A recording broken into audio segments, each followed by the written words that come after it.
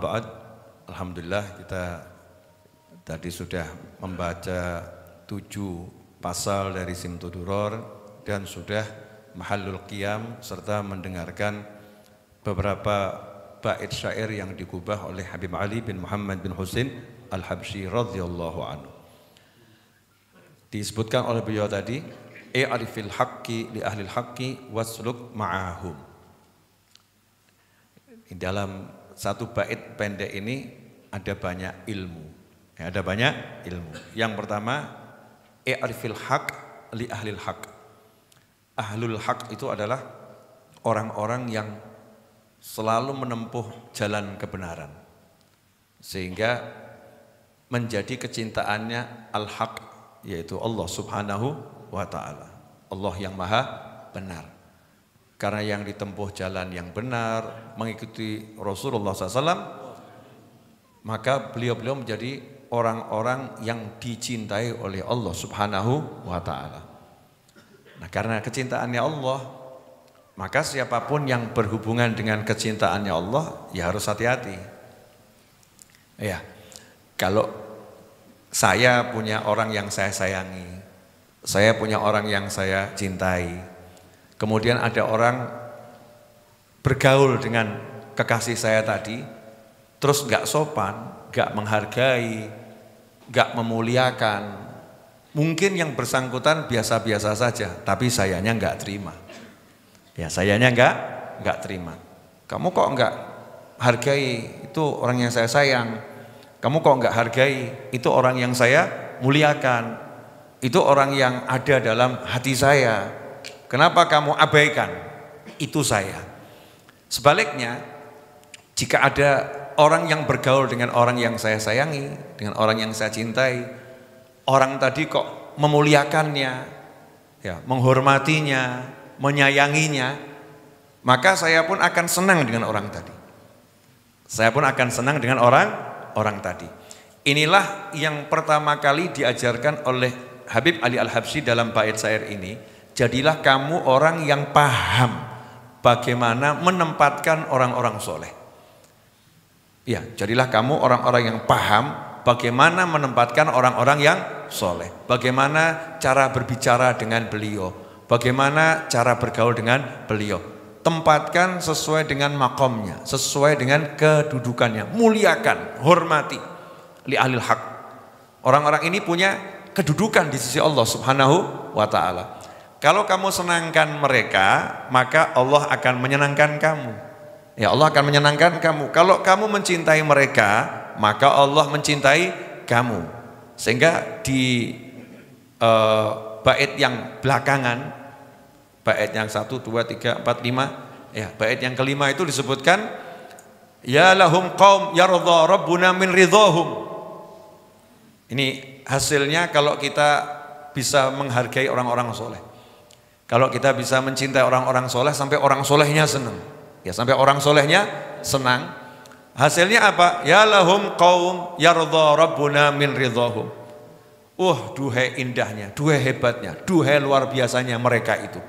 Mereka itu suatu kaum sekelompok hamba Allah yardha rabbuna min ridhahum. Allah Tuhan kita semua itu akan memberikan keridhoannya kepada seseorang min ridhahum kalau mereka ridho kepadanya. Jadi kalau orang-orang soleh ini ridho, orang-orang soleh ini senang kepada kita, maka Allah pun senang kepada kita. Saking besarnya karunia Allah subhanahu wa ta'ala. Ya kepada beliau-beliau. Jadi siapa yang disenangi, siapa yang disukai, maka Allah pun suka kepadanya. Nah inilah torikoh yang mudah, jalan yang mudah untuk mencapai derajat yang tinggi di sisi Allah subhanahu wa ta'ala belajar menempatkan diri di hadapan orang-orang soleh dan menghargai beliau-beliau sesuai makomnya masing-masing. Karena itulah kita melihat ya bagaimana dahulu orang-orang soleh menghargai eh, orang-orang uh, yang hidup bersamanya. Contoh Al Habib Husain bin Muhammad bin Tahir Al Haddad. Eh, Habib Husain bin Muhammad bin Tahir Al Haddad. Jombang yang kemudian dimakamkan di Tegal. Punya kakak namanya Habib Alwi. Habib Husin ini ulama besar, kakaknya juga ulama besar. Habib Husin ini wali besar, kakaknya juga wali besar. Tapi bagaimana beliau menempatkan diri di hadapan kakaknya? Habib Husin itu kalau jalan bersama kakaknya, beliau itu menempatkan diri sebagai pelayan kakaknya. Jadi jalannya di belakang, jadi penderek, pelayan. Nanti kalau datang di majelis, ya kakaknya masuk, Habib Husin gak ikut duduk ke depan, tapi megangkan sandal kakaknya itu. Megangkan sandal kakaknya. Kalau tidur selama bersama kakaknya di satu rumah, tidak pernah Habib Husin mau tidur di atas tempat tidur. Tidurnya di lantai. Saat ditanya sama orang, kenapa tidurnya di lantai? Ada kasur gitu. Jawabannya, saya takut kalau posisi kasurnya lebih tinggi dari kasurnya kakak saya. Atau saya lagi di kasur sementara kakak saya di, lan, di lantai. Nanti saya jadi orang yang gak beradab sama kakak saya dan pada orang-orang soleh. Sampai seperti itu. Ini orang-orang soleh terdahulu. Pengarang Maulid Simtudurar Habib Ali bin Muhammad bin Husain al-Habsyi yang memberikan nasihat ini punya kakak Muftil Haramain Kakak beliau ini wali besar, ulama besar. Cuman kalah tenar sama adiknya. Ya, karena adiknya ulama besar ya yang makomnya juga sangat tinggi di sisi Allah taala. Nah, hebatnya kakak beradik ini, begitu adiknya ini muncul sebagai ulama besar, kakaknya nggak menyaingi. Wah, aku juga lebih besar, nggak ada. Tahu nih, adikku memang ditempatkan sama Allah taala sebagai uh, hebat makomnya lebih dari dari aku menurut kakaknya. Sementara adiknya menganggap kakakku nih jauh lebih hebat dari dari aku. Suatu hari keduanya naik dokar. Ya naik dokar atau naik kuda bersama. Sang kakak berkata kepada adiknya karena hormat ya, karena hormat nih kakak ini ya, hormat pada adiknya yang dianggap lebih alim, lebih soleh. Orang-orang dulu itu indah sekali seperti ini. Maka sang kakak berkata pada adiknya, "Dik, kamu di depan, saya di belakang. Saya nggak pantas di depan, kamu lebih hebat dari saya. Kamu di depan, saya di belakang. Apa Habib Ali menolak? Enggak. Karena menghargai ini kakakku, lebih hebat dari aku, lebih mulia dari aku. Perintahnya harus kuja jalankan. Siap. Beliau di depan, tapi di hati beliau mengatakan, aku sopir itu majikan. Aku sopir itu mah majikan. Aku pelayan itu bos. Aku nurut saja, aku jadi so sopir. Jadi dua-dua ini yang di depan mulia, yang di belakang mulia. Gak ada kesombongan. Mengerti haknya. Ya posisinya orang soleh di mana harus dihargai, harus dimuliakan, harus dihormati. Kenapa? Karena hubungan kita dengan manusia pada hakikatnya hubungan kita dengan Allah Subhanahu wa taala. Setiap orang kan punya posisi, orang tua misalnya. Bagaimana kita cara bicara dengan orang tua, meskipun orang tua kita salah, gak boleh kita aksi membantah, gak boleh kita aksi membantah, diam saja, dengar, dengarkan. Kenapa? Ini orang tua.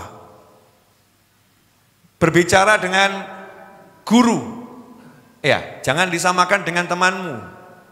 Ya ngomongnya keras, celutak untuk bahasa orang ya sama guru. Wah sama-sama manusia. Gak bisa. Allah mengajarkan kita setiap orang punya kemuliaan di bidangnya. Maka harus kita muliakan. Oh kalau sama guru suara saya harus lebih rendah. Jangan lebih keras dari guru saya. Seperti sahabat pada Nabi Muhammad Sallallahu Alaihi Wasallam. Istri pada suami. Jangan istri mengatakan sama-sama hamba Allah. Aku hamba Allah, dia hamba hamba Allah. Karena sama-sama hamba Allah, maka jalankan perintah Allah. Suami punya kedudukan, istri juga punya kedu kedudukan. Jangan istri mengatakan, kalau kamu boleh, aku juga boleh. Kenapa kalau kamu boleh, aku kok enggak? Enggak boleh. Ada posisinya masing masing-masing di mana istri harus meletakkan suami ini ya, pemimpin yang paling ting tinggi. Pemimpin yang paling tinggi. Nanti jangan istri yang ngomong, kamu malam-malam kok boleh keluar, aku kok nggak boleh. Ini ada oknum-oknum istri model begitu. Kalau kamu kok boleh ke mall, kalau aku kok nggak, nggak boleh. Ya, kalau kamu kok boleh ngobrol sama banyak perempuan, kok aku nggak boleh. Ini ada ndak yang model begitu? Wallahu alam ya. Entah di alam mana, ya mudah-mudahan ada. Ya, faktanya A, ada. Ini nggak tahu haknya, nggak tahu posisi masing masing-masing. Jadi kita harus bisa menempatkan diri di hadapan siapa kita bi bicara. I'rifil hak di ahlil hak. Nomor satu itu dulu. Nah kalau udah bisa menghargai orang-orang soleh, bisa menghargai wali-wali, bisa menghargai, kemudian wasluk ma'ahum. Jalanlah ke langit, ke surga, jangan sendiri. Ma'ahum, bersama mereka. Kalau mereka buat majelis, hadir majelisnya. Kalau mereka ngajak kerja bakti, hadir kerja baktinya. Masya Allah, saya kalau udah teriak-teriak, saya belum soleh, tapi kan minimal ngurus pengajian. Kalau saya wanti-wanti, ayo kerja bakti, yang datang orangnya, ya itu, itu saja.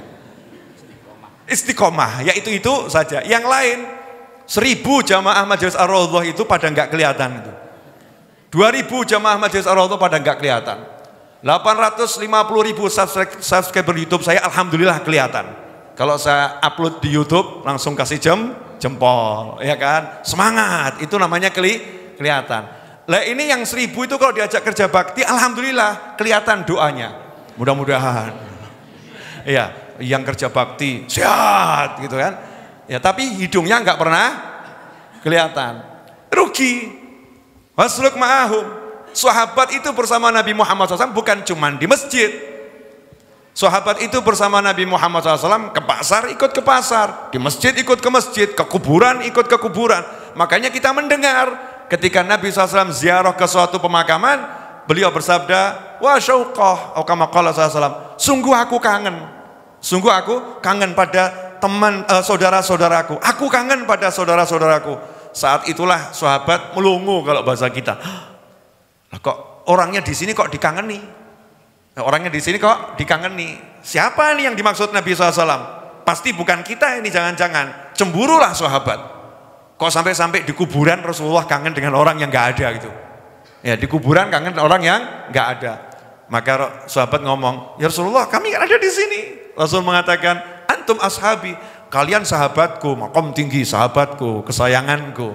Tapi aku punya saudara, belum lahir, belum muncul, ya belum muncul. Nanti sepeninggalku, mereka nggak pernah lihat aku, nggak pernah bertemu aku, tapi mereka kangen pengen ketemu aku dan rela mengorbankan apa pun untuk sekali bertemu denganku. Sungguh aku kangen sama mereka, mereka semua. Mudah-mudahan kita termasuk di dalamnya, amin. Nah ini, ini munculnya sabda tersebut didengarkan oleh sahabat bukan di masjid, Ya bukan di masjid, tapi di kuburan. Ya di pema, pemakaman. Nabi kita Muhammad SAW ya juga di perkebunan. Ya di perkebu, perkebunan, jalan-jalan perkebunan. Makanya ada cerita bagaimana onta itu nangis pada Nabi Muhammad SAW. Kalau Rasul ke kebun, sahabat juga ikut ke, ke kebun. Rasulullah juga kerja bakti. Kapan contohnya bangun parit, perang kondak. Ikut kerja bakti. Jangan kamu mau jadi pengikut Nabi cuma di masjid.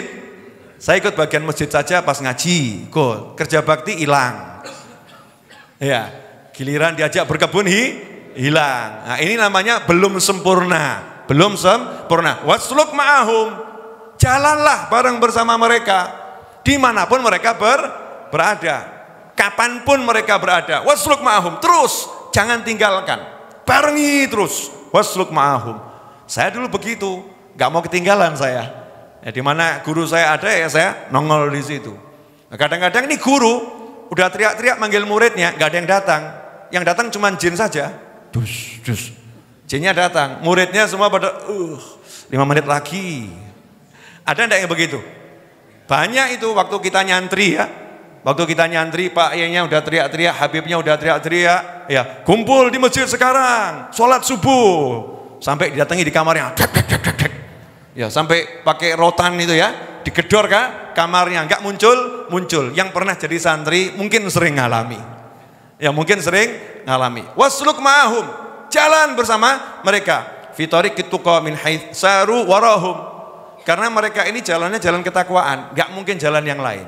Min saru warahum. Di mana pun mereka berjalan, model jalannya seperti apa pun, cara jalannya seperti apa pun, pokoknya derek di belakang mereka. Di belakang beliau-beliau ter tersebut. Fasa'adah manutoh kullaha biktifahum. Kalau mau tahu mau dapat as-sa'adah, mau dapat as-sa'adah. As-sa'adah itu kebahagiaan yang hakiki. Kebahagiaan yang sebenarnya di dunia dan nanti di di akhirat. Di akhirat jannahnya Allah taala, ketemu Nabi Muhammad SAW, lihat Allah Subhanahu wa taala, semua kebahagiaan itu di akhirat dan kebahagiaan di di dunia, manutoh kullaha biktifahum. Semuanya tergantung bagaimana kita mengikuti mereka. Mengikuti orang-orang yang soleh. Jangan sombong. Jangan pegang Al-Quran, pegang hadis gitu ya. Saya mau belajar sendiri. Al-Qurannya ada, hadisnya ada. Tunggu saja tanggal mainnya. Ya, nanti akan bingung sendiri. Nanti akan hancur sen sendiri. Allah Ta'ala menurunkan Al-Quran. Siapa yang menurunkan Al-Quran? Allah. Yang uh, berbicara siapa? Allah. Kemudian yang diberi Al-Quran siapa? Nabi Muhammad Sallallahu Alaihi Wasallam. Yang diberi Al-Quran adalah Rasulullah Sallallahu Alaihi Wasallam. Tetapi ya coba diperhatikan, apakah Allah katakan aku datangkan pada kalian Al-Quran, begitu. Enggak. Allah yang mengatakan dalam surat Al-Ma'idah ayat 15, telah datang kepada kalian nur, cahaya, wa kitab mubin, dan kitab yang jelas. Datang kepada kalian cahaya dan kitab yang jelas. Cahaya dulu yang disebut, baru kitab yang jelas.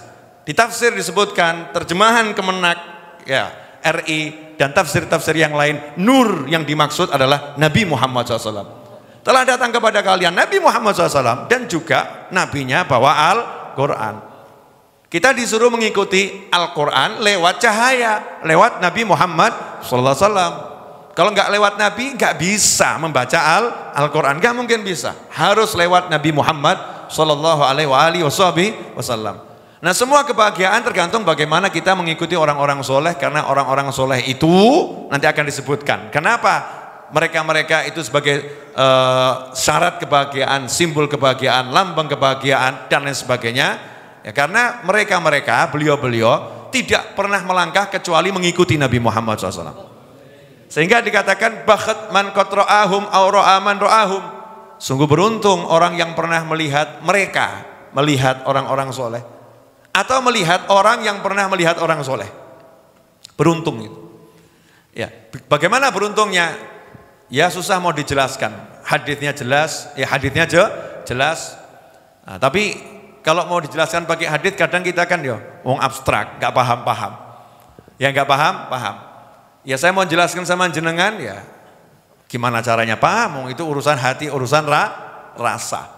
Kita ini kalau pernah lihat orang soleh, lihat orang orang soleh, kita itu jadi paham hidup itu apa itu hati kita lain, dirubah sama Allah Subhanahu wa taala. Rasanya itu pak paham, dapat rasanya. Feelnya dapat gitu loh ya. Nah, dapat feelnya kalau bahasa orang sekarang. Kadang orang sekarang ini melakukan sepak bola, badminton, tenis meja, ya sambil mengatakan nggak dapat feelnya saya. Moodnya nggak ada, nggak dapat moodnya. Pernah nggak ngomong begitu? Rosone gak, gak ono. Jadi main, ya main, nggak ada rasanya. Lah biar dapat rasa ini, lihat orang-orang yang yang soleh. Saya beruntung Alhamdulillah. Yakin saya ini melihat banyak orang soleh. Saya melihat Habib Anis, saya yakin orang soleh. Saya melihat Habib Salim bin Abdullah Asyadri rahimahumullah. Saya yakin beliau orang so, seorang soleh. Saya lihat Habib Zain bin Smith, semoga Allah panjangkan umurnya dalam kebaikan. Habib Umar bin Hafid, semoga Allah panjangkan umurnya dalam kebaikan. Saya yakin beliau orang so, orang soleh. Di masa kecil saya di Solo ini banyak orang soleh yang saya pendelengi gini. Ya. Manteng saya lihat terus itu. Banyak itu. Jadi ya saya bejo, saya beruntung. Alhamdulillah. Dan jenengan ini ngimpi apa bisa lihat saya? Harusnya bayar. Nah. Lu ya harusnya bayar gitu ya. Lah jenengan mungkin nggak ketemu Habib Anis, betul ya? Mungkin nggak sempat ketemu Habib Salim Asyadari, mungkin nggak ketemu. Dan para ulama yang pernah saya lihat nggak ketemu. Lah kok modal ketemu saya mau dapat ya bakat ya, keberuntungan kan yang bayar toh ya. Alhamdulillah nggak bayar tambah tak sugui. Betul toh betul. Enggak bayar disu, disugui. Bahkan duduknya pun diajeni, dihormatkan, karpetnya dikasih yang bagus, AC-nya mau saya tambah nanti, kipas angin mau saya kasih lagi, lampunya mau saya buat lebih terang lagi, terus saya layani jenengan semua. Ya kenapa? Ya ini hasilnya saya melihat orang soleh, diajari caranya saya menempatkan orang yang cari il, ilmu. Harga itu orang yang cari il, ilmu, tempatkan. Waktu ada khairun nisa datang ke Majlis ar atau yang biasa antum panggil Nisa Sabian bersama Sabiannya itu ya. ya satu kelompok datang ke ar itu. Eh, Nisa dan kawan-kawannya. Saya nggak punya mic yang bagus. Ini orang-orang suaranya apa? Bagus. Saya meminta beliau untuk baca satu kosidah sebagai tamu. Satu kok kosidah. Tapi make saya jelek. Jam 7 malam lebih, jam 8 malam kurang itu. Saya panggil Mas Roni. Mas Roni iya. Saya diajari menempatkan orang pada tempatnya, menghargai orang. Tolong pergi ke toko elektronik yang masih buka, beli mic yang mahal. Sampai sana ada berapa? 8 juta. Kliang-kliang ya. Kliang-kliang ya. Olong yuto dul ya, keliang-keliang. Tapi yang namanya kita disuruh menghargai suara, suruh menghargai suara, suara. 8 juta ya, bayar Mas Roni, bayar, bayar. Mas Roni sempat kaget. Ih, wong yuto gitu ya. Bayar, bayar. Ini namanya menghargai sese, seseorang. Ya kalau enggak, enggak begitu, maka kita bukan santri. Ya kita bukan orang yang menger, mengerti. Hargai. Ya. Ini berkata apa? Dulu saya diajari guru saya seperti itu. Saya masih ingat persis ya bagaimana Habib Anis itu menempatkan setiap orang dengan penuh kemuliaan sesuai makomnya masing masing-masing. Bahkan man kot ro'ahum au ro'aman ro'ahum. Jadi jenengan bisa lihat saya bejo enggak? Ya, bejo kan? Ya.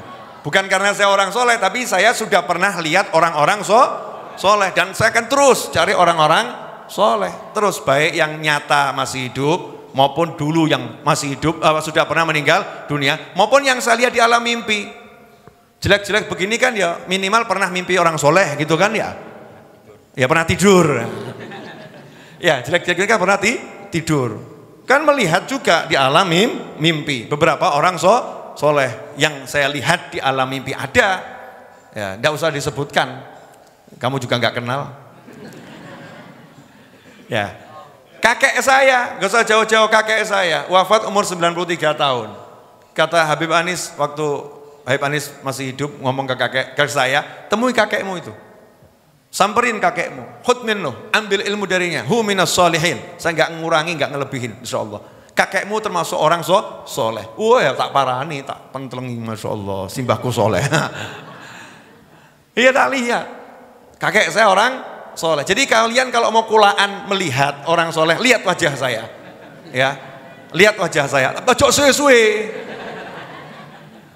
Cukup sebentar saja terus mulia gitu ya. Silahkan bu pulang. Begitu caranya. Jangan datang ke majelisnya orang soleh sibuk lihat HP-nya. Sibuk lihat YouTube, IG, Facebook, Masya Allah. Saya waktu dulu berguru kepada Habib Anis, itu kalau saya duduk di majelis, Majlis itu kosong. Saya nggak pernah lihat orang lain, yang kelihatan cuma Habib Anis saja. Tidak ada orang lain, jadi saya nggak peduli. Sedikit kelihatannya seperti apa, ben tak dulu terus sama saya mesem gitu ya. Karena harus dilihatnya enak. Lah kamu kadang kan rodok kurang ajar.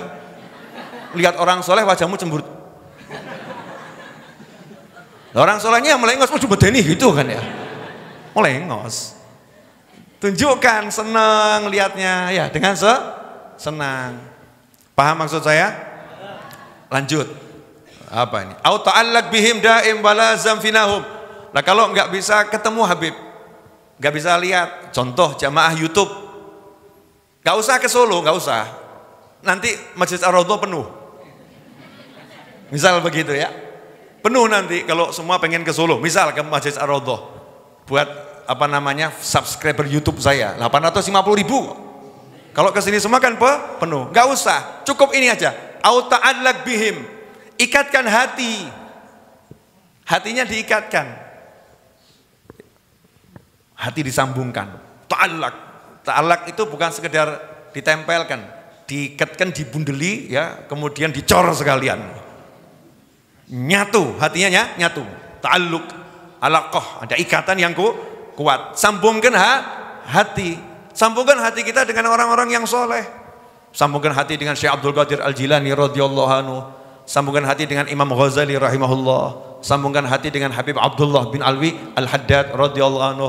Saya enggak ketemu Habib Abdul Haddad, tapi saya pernah ziarah ke makam beliau, peristirahatan beliau dan saya paling senang kalau dengar uh, apa doa beliau yang dilakukan itu. Iya, gimana Ali Masum?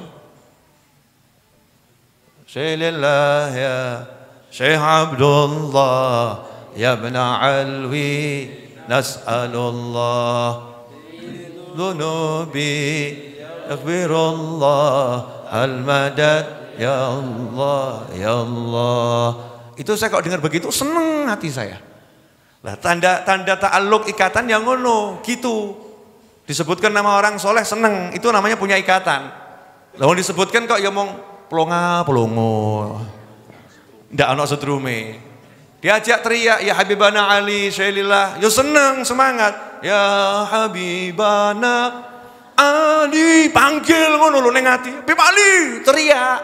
Itu namanya ada ta'aluk. Ini ndak ya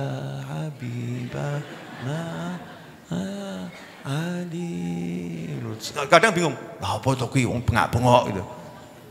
Ta'alluq, hatinya di diikat. Au ta'allaq bihim daim walazam finahum. Dan teruslah berdiri di depan pintu rumah mereka itu. Dinteni metune. Diparani, diparani. Disamperin, disamperin. Enggak mungkin enggak. Orang kalau hubungannya kuat nanti pasti nyam, nyambung. Fannahum qaum mahad fil bariyah kamahum. Karena di jagat raya ini enggak ada kelompok manusia seperti orang-orang soleh itu. Enggak ada. Gak pernah melupakan. Pandai membalas bu, budi. Ahli berbuat baik. Ahli berbuat baik. Penuh pengertian. Makanya saya nggak pernah insya Allah takut yang ngurusin majelis urusan al-fulusu wal duit itu meskipun saya nggak punya duit. Nggak pernah takut. Kenapa? Aku duit bolo uang soleh akeh kok. Orang soleh itu banyak. Ya tinggal tak bengoi. Fulan, Syekh Fulan, Habib Fulan, tulung ngono gitu. Help me please. Ya, jawabannya apa? Duit ya Allah, fal duit mbok pikir. Oh, surga tak jaluk no. Surga saja aku mintakan, apalagi urusan du, duit. Santai saja, nggak usah pusing-pusing. Tapi yang penting lazam finahum. Talak. Diikat betul, hatinya diikat betul. Nah, lanjut boleh? Episode berikutnya. ya, episode beri berikutnya. Ini kalau ngobrol begini ya sampai nanti maghrib, sampai maghrib lagi asyik. Awakmu. Lah saya yang ngomongkan ini kan ya seneng tapi kan urusannya ba banyak. Ya tugasnya ba banyak. Ya minimal ini ingat-ingat apa? Yuk belajar menempatkan diri di hadapan orang-orang so soleh. Beradab betul. Ya beradab be, betul. Kemudian eh, mengikuti jalan mereka. Cari sebanyak mungkin orang-orang soleh yang pernah kita, uh, yang bisa dilihat. Kalau saya mau pakai modus pokil, nah, pokil itu apa ya? Curang ya. Nah, curang cerdik. Gimana caranya? Saya mau cari orang-orang soleh yang yang tua, yang pernah melihat banyak orang soleh. Jadi saya lihat satu cukup. Lihat satu cukup dan itu dulu udah saya dapatkan. Saya warak lihat Habib Anis. Habib Anis lihat ayahnya Habib Alwi. Betul kan ya? Habib Anis lihat Habib Abdul bin Ahmad. Habib Anis lihat Habib Fulan, Habib Fulan, Syekh Fulan. Karena beliau jujukannya para ula, ulama. Jadi saya lihat Habib Anis berarti saya udah lihat siapa? Wakeh. Belum lagi ya beliaunya insya Allah pernah lihat Nabi Muhammad SAW di dalam mimpi. Ayahnya pernah lihat Nabi Muhammad SAW. Berarti saya pernah melihat orang yang pernah melihat Nabi Muhammad SAW. Bejo atau enggak bejo? Bejo. Lah kamu? Ah, bejo nular. Jadi kalau jenengan kumpul sama saya enggak merasa bejo, ya kebangetan luar biasa. Minimal modalku itu. Bib, saya kalau kumpul sama Bib dapat apa? Elek-elek ngene iki aku nyawang wong soleh. Ya, lihat orang orang soleh. Harus pede. Ya, harus percaya di diri dengan kebaikan. Jangan tambah sok tawadhu. Oh, saya nggak punya apa-apa. Enggak. Tawadhu itu tempatnya bukan begini. Tawadhu itu di sini. Di dalam ha, hati yang gagah, izz. Izzahnya harus tunjukkan. Jadi muslim itu yang gagah, tapi jangan som, sombong. Asik ya, gagah tapi jangan sombong. Ah, satu lagu nanti ya, nanti satu lagu. uh, sebelum kiam, uh, sebelum apa do, doa. Hari ini maulidnya saya singkat. Kalau kemis pagi biasanya saya baca lengkap. Hari ini saya bahasa singkat seperti Jumat Kliwon ya. Satu fasal wahina, kemudian dua fasal sebelum doa, kemudian do, doa. Kenapa? Ceramahnya kepanjangan. Ya, ceramahnya kepanjangan. Pengumuman dari saya, insya Allah Maulid Akbar Majlis Ar-Raudhah jatuh di Jumat terakhir bulan Maulid. Kalau saya nggak salah, Jumat 21 Oktober. Jumat 21 Oktober. Datanglah bawa cicit anak jin setan demit. Bawa semua ke sini. Paham? Ya, ajak semua orang datang ke sini kapan? Jumat malam Sabtu 21 Oktober. Maulid Ak Akbar. Maulid Akbarnya tetap di Jumat terakhir malam ya. 21 Oktober Oktober insya Allah. Ajak semuanya. Siap ngajak semuanya? Malaikat-malaikatmu ajak semua. Ya, subscriber-subscriber YouTube-mu ajakan kabeh. Jadi biar apa namanya niat gitu, mengagungkan Nabi Muhammad sallallahu alaihi wasallam ya, niat seperti itu. Wassalamualaikum warahmatullahi wabarakatuh. Walhamdulillahi rabbil alamin.